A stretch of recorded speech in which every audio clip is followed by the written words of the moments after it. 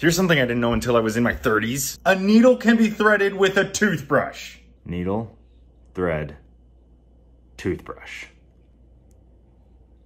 Push down. Through.